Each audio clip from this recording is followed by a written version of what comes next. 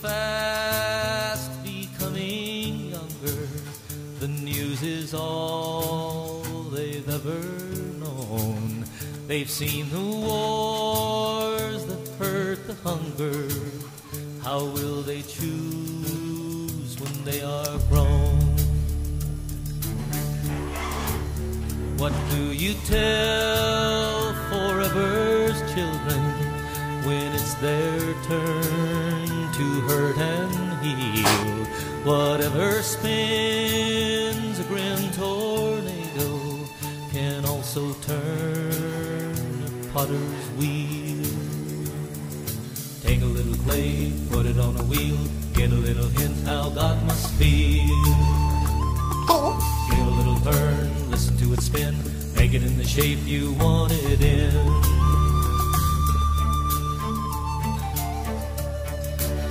Tell with your life a bloody story.